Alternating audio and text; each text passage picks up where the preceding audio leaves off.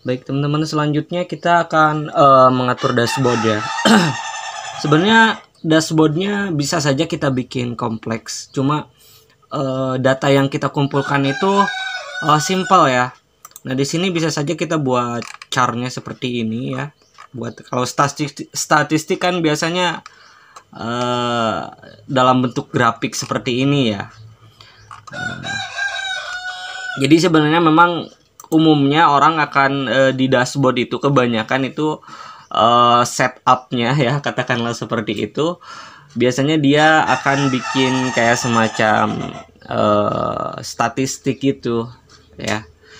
Buka uh, dalam bentuk chart seperti ini ataupun uh, seperti ini ya bar chart seperti ini atau kalau dalam ininya jenisnya donut chart atau ada area chart ada banyak ya jenis-jenisnya di sini. Ada char GS plot.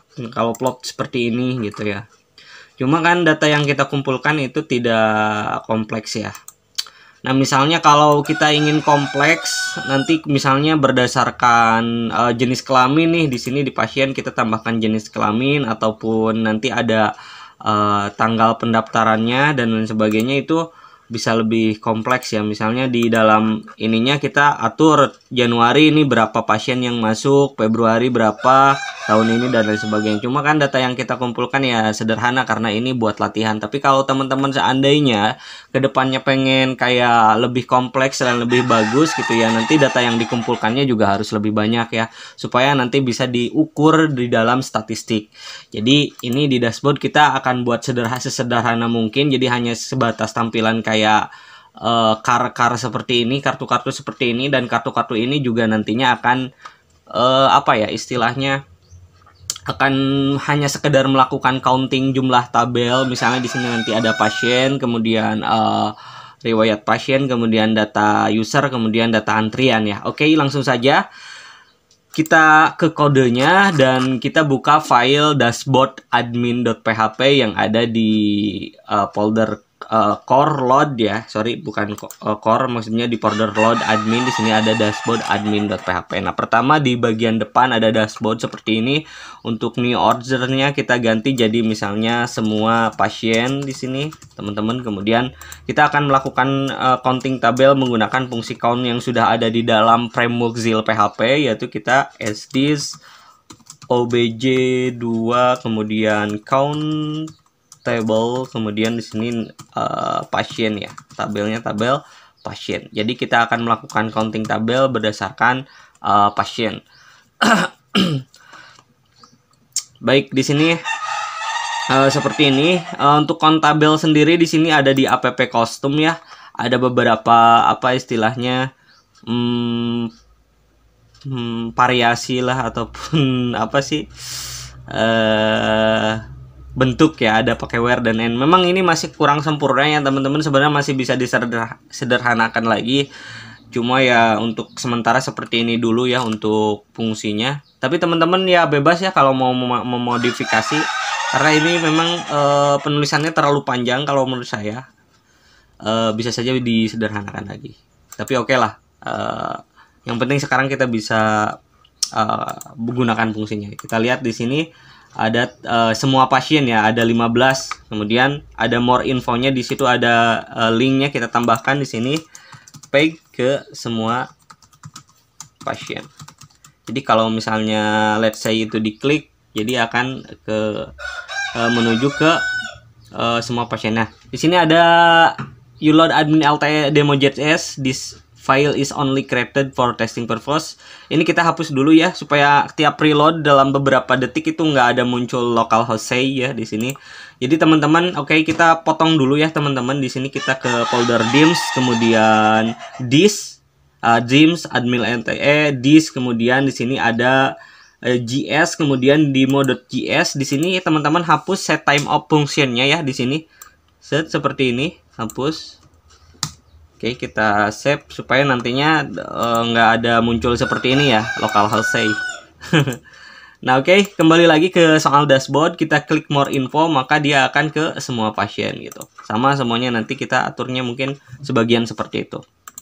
Nah, selanjutnya kita kembali ke dashboard.php dan di sini kita mau uh, di sini tampilkan riwayat ya riwayat riwayat uh, yang sudah ditambahkan ada berapa gitu ya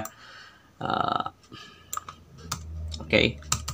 jadi memang sekali lagi kalau mau kompleks itu nanti dalam bentuk misalnya presentase berapa persen itu uh, kita butuh datanya yang lebih banyak lagi karena karena ini data yang dikumpulkan juga sederhana hanya sebatas nama kemudian uh, alamat gitu ya tidak berdasarkan misalnya hmm, apa berdasarkan uh, jenis kelamin tanggal daftarnya kemudian daerahnya gitu itu bisa lebih kompleks lagi. Jadi di sini kita hanya buat secara sederhana saja ya teman-teman. Nah pasien riwayat. Jadi nanti dikembangkannya sama teman-teman sendiri ya. Oke kita kembali lagi. Di sini kita reroll. Di sini pasien riwayatnya ada satu. Cuma kita nggak akan linkkan karena pasien riwayat itu kan berdasarkan uh, misalnya kalau semua pasien ini berdasarkan per pasien jadi nggak saya akan linkkan ke pasien tertentu ya. Jadi hanya sebatas counting tidak menggunakan link. Kemudian selanjutnya user registrationnya. Teman-teman uh, ke tabel user di sini. Nah, empat empatnya kita ganti. Sangat mudah ya teman-teman. Estis count table kemudian di sini users. Nah, seperti ini. Kemudian di sini pengguna lah jangan user ya pakai bahasa Indonesia pengguna di sini. Kini ke uh, peg semua pengguna semua pengguna. Oke kemudian di sini ada antriannya saja ya antrian. Ini ke uh, tabel pasien antrian. Di sini sdis count sdis obj ya. Sorry di sini. Sdis obj 2 kontabel obj 2 uh, apa di sini? Uh, pasien riwayat eh pasien antrian ya. Kemudian kita ke linkannya ke page pasien antrian. Jadi sangat mudah ya teman eh sorry bukan pasien antrian ini ini antrian ya pegnya URL nya baik teman-teman kita reload di sini oke okay. kita ke pengguna semua pengguna oke okay. di sini kemudian ke antrian ke semua antrian oke okay. seperti ini jadi nah dashboard itu memang kebanyakan orang ya idealnya uh, setupnya itu kayak counting-counting kemudian ada kayak biasanya pakai lain uh, kayak cara-cara statistik seperti ini cuma seperti yang saya jelaskan tadi uh, data yang kita kumpulkan sangat sederhana bisa saja nanti uh, kalau datanya banyak ya misalnya berdasarkan laki-laki dan perempuan kemudian uh, berdasarkan kategori penyakit berat ringan kecil uh, penyakit jantung berapa penyakit kanker berapa penyakit ini berapa gitu ya. Nanti itu bisa lebih kompleks lagi.